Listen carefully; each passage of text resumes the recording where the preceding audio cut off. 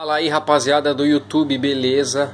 Pessoal, eu tô atrasado para fazer vídeo, sumi, não consegui mais responder comentário, nem chegar perto do YouTube, é tudo por culpa desse cara aqui. O meu motor Adams, que eu fiz a atualização, e eu gostaria de mostrar alguns detalhes interessantes para vocês que eu fiquei devendo da última vez. Certo, pessoal?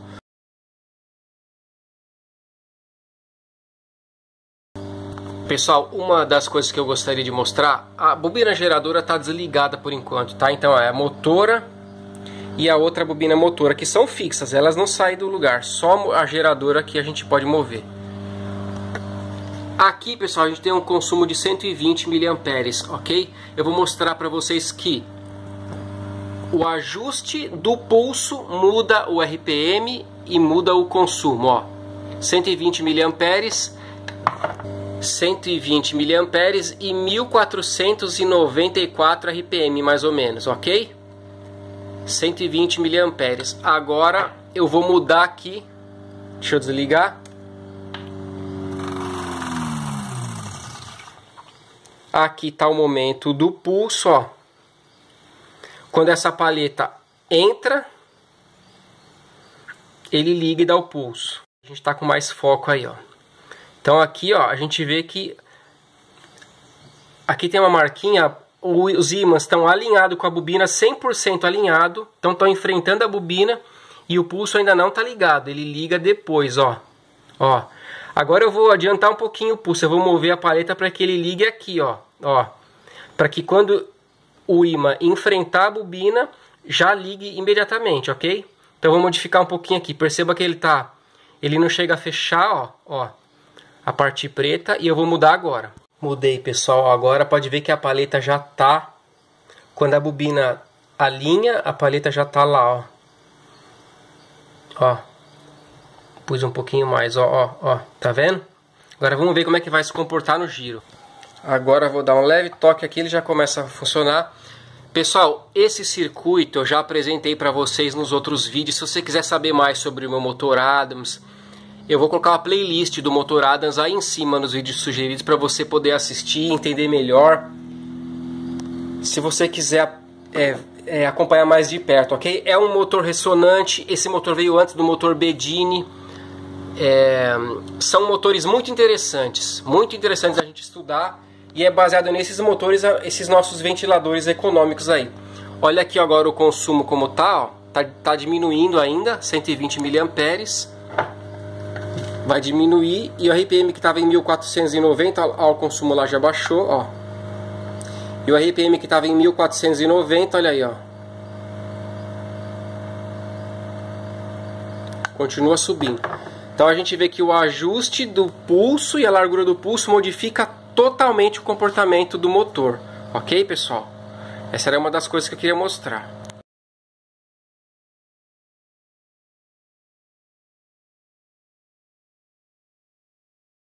Ó, que eu vou mostrar para vocês. Agora vamos usar a bobina, a, as bobinas geradoras. Aqui a gente tem uma ponte retificadora.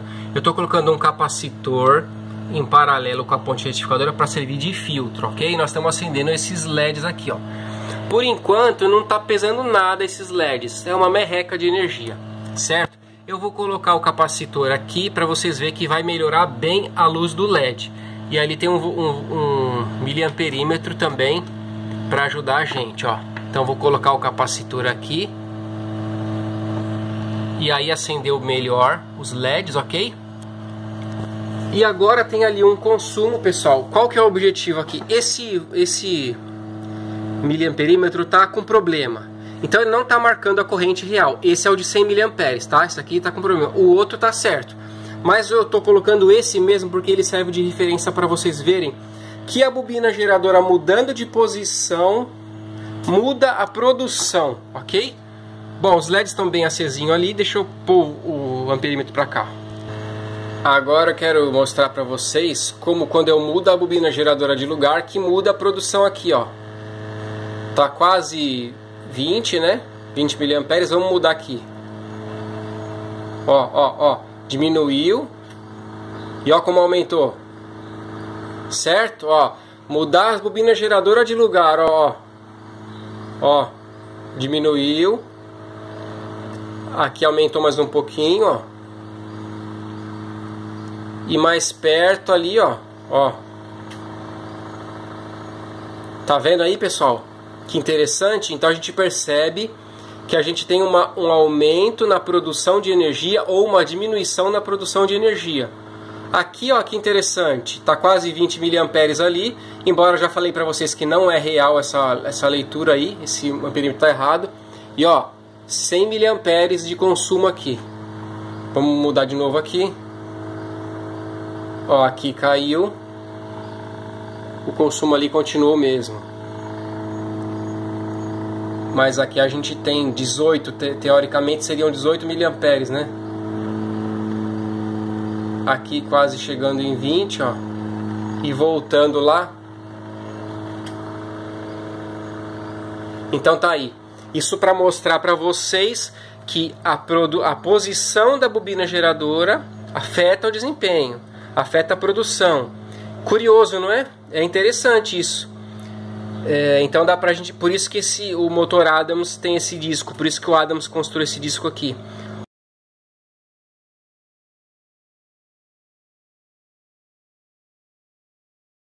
Coisa que eu vou mostrar aqui. Ó, aumentei o número de LEDs, ficou mais fraco o brilho, vocês estão vendo, ó. O capacitor eletrolítico ainda tá lá e agora eu vou mostrar para vocês que adicionar um capacitor em paralelo com a bobina na parte de corrente alternada, ó, logo na saída da bobina, ó, um, um dos terminais já está e o outro eu vou conectar agora. E vocês vão ver o que acontece quando a gente coloca um capacitor em paralelo com a saída da bobina antes da ponte retificadora. Dá uma olhada na produção de energia. Olha os LEDs, o brilho deles. Quando eu colocar esse capacitor aqui. Ó, deu pra ver? De novo, ó, vou, vou, vou encostar lá, ó. Ó, tirei o capacitor. Coloquei. Então, mais uma lição a gente aprende aqui. Um capacitor eletrolítico é, não polarizado, dependendo da frequência de rotação, pode aumentar a produção de bobinas geradoras, ok, pessoal? Vocês viram no LED e eu vou mostrar para vocês isso com bateria também, carregando bateria. Se você colocar um capacitor em paralelo, dependendo do capacitor e da frequência, você aumenta a produção de energia da bobina geradora. Vamos ver?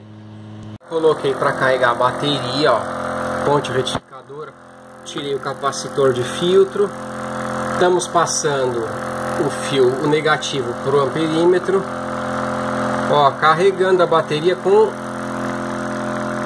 nem 10 miliamperes, ok? Então precisei aumentar o RPM aqui, mas ele está demandando uma carga muito pequena para a bateria, ok? Agora vamos colocar o capacitor é, não polarizado em paralelo com a bobina e não na saída, certo? Não é na saída não é depois da retificação, não é um capacitor polarizado, é um capacitor de corrente alternada. Vamos colocar ele em paralelo com a bobina e olha a produção de energia lá, ó. Você vê que essa bobina do jeito que está quase não consegue carregar, mas quando eu puser o capacitor, olha lá. Opa, soltou aqui. Vou colocar de novo aqui. Vamos ver se dá para vocês ver tudo. Olha lá. Olha que legal. Tá vendo? Ele deu bastante peso no motor, diminuiu bem o RPM, mas provando para vocês que o capacitor em paralelo pode aumentar a produção de uma bobina geradora, não é só essa do motor Adams. Eu quero fazer testes com transformador e com outra bobina geradora, em outros tipos de geradores. Ó, caiu ali a produção. Eu não sei porque está oscilando, deve estar tá com algum mau contato. Caiu a produção porque diminuiu o RPM, mas vocês podem ver que ele está produzindo muito mais do que os 10 mA. Né? Eu vou tirar agora o capacitor e a gente vê que cai a produção. Ó. Nas geradoras do meu motor Adams e aqui está o sinal, o sinal sem o capacitor é, não polarizado. E agora eu vou ligar o capacitor e olha o sinal como vai ficar e a produção de energia aumenta muito, certo? E cria peso naturalmente na bobina, ok?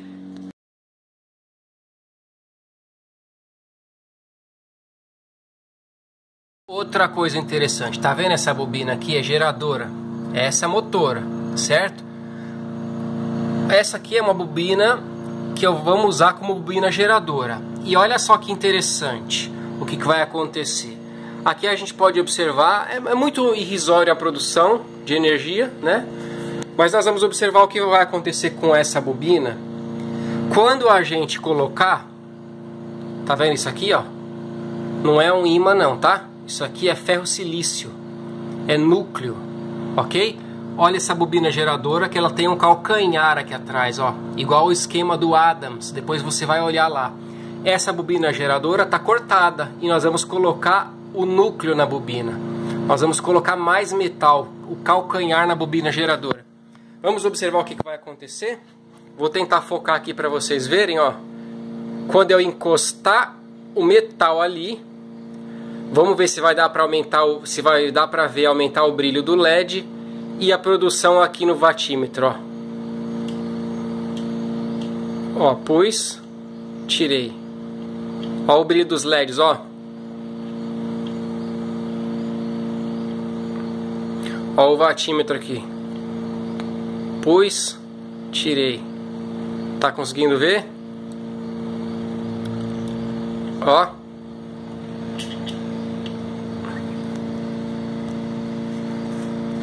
Vamos ver se eu acho um ângulo mais legal aqui. Eu queria pegar tudo. O LED, o amperímetro e o imã lá atrás. O imã não. Não é imã, tá pessoal? Não deixa eu enganar vocês. Eu vou mostrar depois uma foto melhor. Ó, é ferro silício, tá? Que eu cortei. Ó, vou encostar. Ó o LED como acende mais. E ó o amperímetro aqui. Tá sendo pouco, pessoal, porque tá uma rotação baixa, tá bom? Essa bobina não é uma bobina boa para produzir, tem poucas espiras. Mas vocês veem que aumentar o núcleo só por aumentar o núcleo da bobina, aumentar para trás, tá pessoal? Ó, sem, sem fio enrolado, tá bom? Ó, ó, ó os LEDs, ó. Não é um absurdo de metal, mas a gente deixa a bobina, os fios descentralizado do núcleo. Ó. Ok, pessoal? Fica mais uma mais uma dica que o senhor Robert Adams ensinou aí para nós. Ferro silício, ó, ó, as lâminas de, do ferro silício do estator, ó. Inclusive eu vou mostrar para vocês aonde a gente acha ferro e fio para fazer boas bobinas para montar o Adams aí se você quiser. Conhece esse estator aí? É aquele estator de máquina de lavar roupa, né? Então dá para cortar ali e fazer um monte de bobinas, ó. Cortei com a cegueta, com a serrinha. Então fica aí a dica.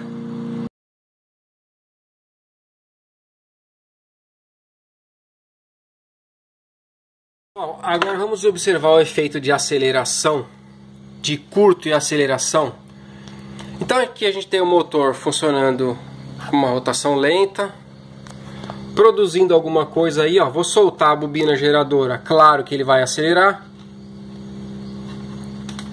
o motor começa a acelerar e consumir menos, cada vez mais rápido. Mas vamos pôr a carga aqui. E nós vamos ver o efeito de aceleração.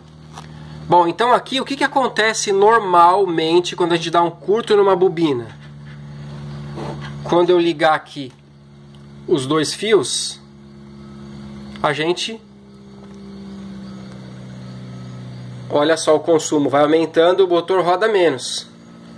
Ó, vai segurando o motor cada vez mais. Certo? Roda cada vez menos, bem pesado. Quando a gente solta o curto, ele acelera um pouco mais. Porque o curto é muita carga, certo? Isso é o que é o normal de acontecer. De novo, ó. Vamos ver se vai dar pra ver. O giro vocês não vão conseguir ver, mas se dá curto, dá para escutar pela frequência do pelo, pelo som que está diminuindo a rotação, né? E o consumo aumentando, ó. Vou soltar o curto e vou deixar a lâmpada acesa e o consumo vai diminuindo aí, certo? E se eu tirar a lâmpada, claro que ele vai acelerar muito mais. Agora vamos ver se a gente consegue observar o efeito contrário. Vou aumentar aqui a tensão. 24 volts, maior potência.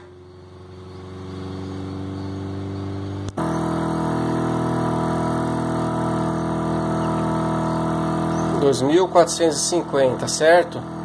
Com a lâmpada acesa, certo? Dois mil quatrocentos e cinquenta e sete. Olha o curto aqui. E olha o RPM, pessoal. Olha o RPM. Dando curto nas bobinas, olha o consumo. Olha o consumo lá, 6, 6 watts. O RPM aumentando. 2.600 RPM. Diminuindo o consumo, aumentando a RPM. Agora eu vou soltar o curto e vou deixar a lâmpada acender.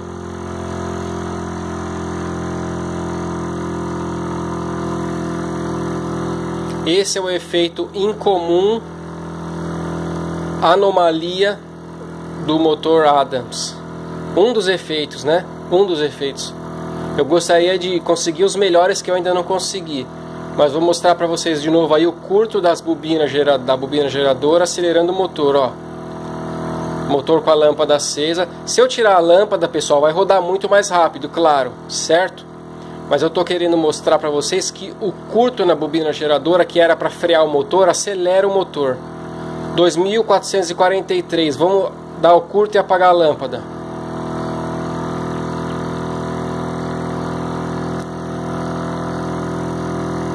RPM aumentando e o consumo lá vai caindo, ó.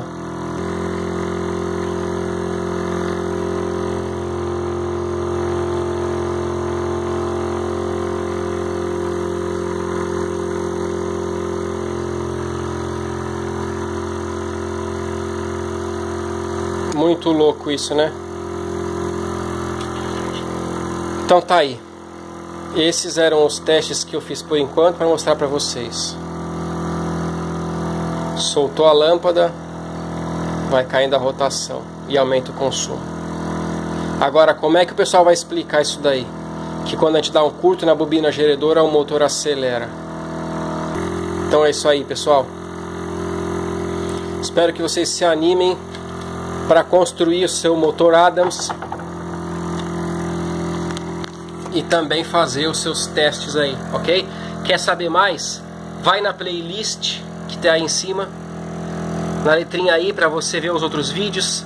Vai no blog para você ler a postagem que eu fiz lá, para você poder entender melhor como é que é esse motor aqui e fazer os seus testes também. Beleza, pessoal? Então era isso aí que eu gostaria de compartilhar. Desculpa a bagunça do vídeo aí, o vídeo meio tremido, meio bagunçado, mas foi difícil registrar todos esses testes aí e mostrar para vocês quanta coisa interessante tem para estudar. Ok? Um forte abraço a todos e até o próximo vídeo. Valeu!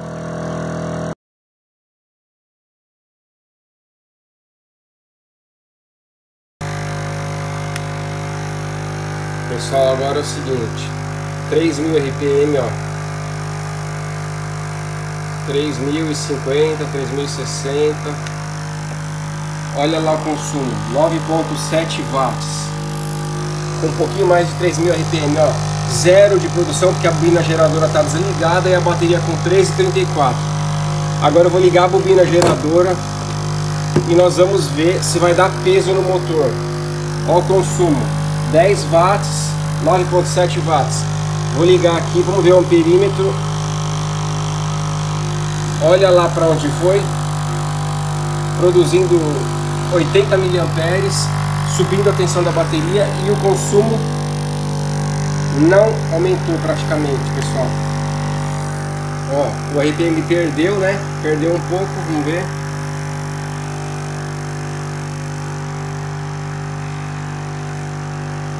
Dois mil novecentos e sessenta, ó.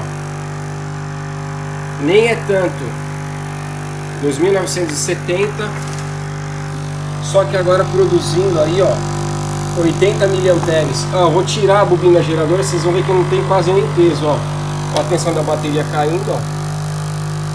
Não muda quase nada no motor, ó. caiu um pouquinho aqui, 9.7 watt. Não muda o peso, não dá peso. De novo, ó, zero a, a, a, produção, a corrente de carga, a bateria com 13,35 carregando só com os picos radiantes. Agora eu vou ligar o gerador. Foi para 80 mA e o consumo e o RPM praticamente nem muda. Muda mínimo. Tá aí a anomalia do motor Adams. Dependendo da rotação e da carga, não tem peso. Zero de produção. Escuta o barulho da rotação. Diminui muito pouco diminui muito pouco a, a perda, tem muito pouco peso, tem muito pouco arrasto, produzindo quase um, um watt, um watt e pouquinho, e o consumo não aumenta, praticamente não aumenta.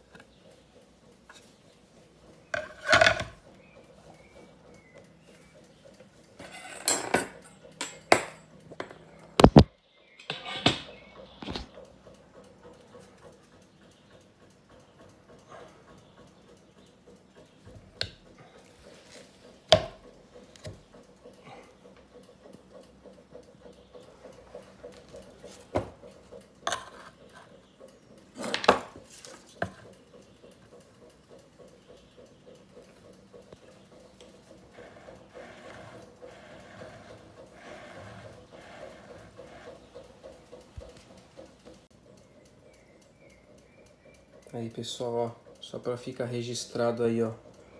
São ímãs redondos, eu coloquei cinco alinhados aí em série, quatro polos norte para fora.